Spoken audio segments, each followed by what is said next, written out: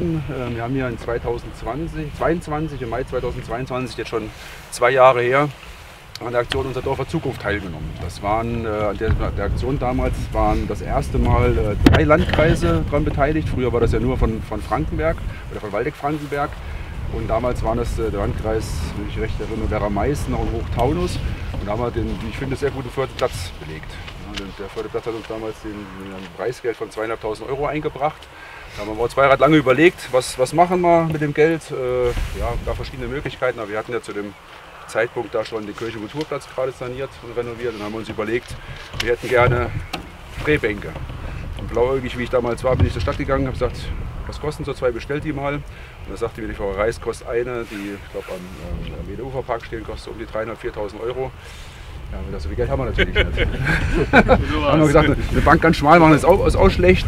Und da hat sich dankenswerterweise der Karl Krass mit eingeschaltet, mit einem unserer Yachtpächtern gesprochen.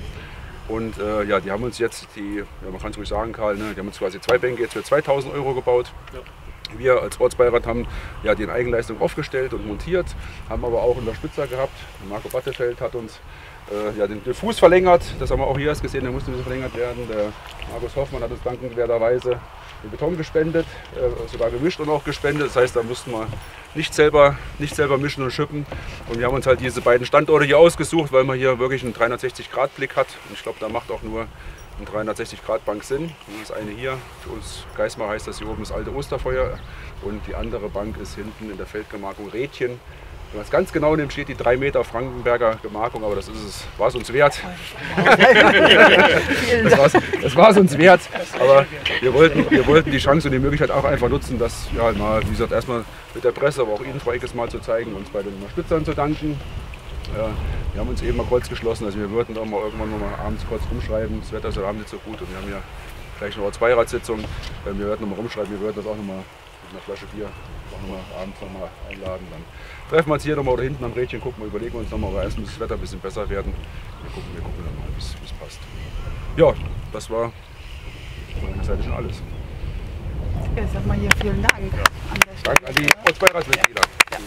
Ich die Gelegenheit auch gerne mal nutzen, zu sagen, das ist genau das, was das Landleben hier ja ausmacht, ist dieses Engagement, dieses Ehrenamt, die kurzen Wege, die wir hier haben und man sieht, was dabei rumkommt. Äh, der Sarkast in mir hat sich gefragt, unser Dorf hat Zukunft, es gibt einen Preis und es wird eine Liegebank. Aber hat das eine Bedeutung, entweder für die Demografie oder für den Nachwuchs?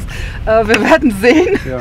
Äh, aber insgesamt finde ich das super und finde auch super, dass Sie das Engagement gezeigt haben, sich dafür überhaupt zu bewerben und mitzumachen. Ne? Weil genau das sind die Kleinigkeiten, die dieses Leben hier so interessant machen und wunderbar machen.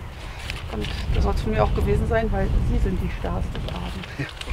Ich kann da mich nur für verneigen und sagen, vielen, vielen Dank, dass Sie sich alle so engagieren und das auch Ganze finanziell und mit Muskelkraft, auch immer Arbeitskraft noch unterstützen. Das ist wirklich große Klasse.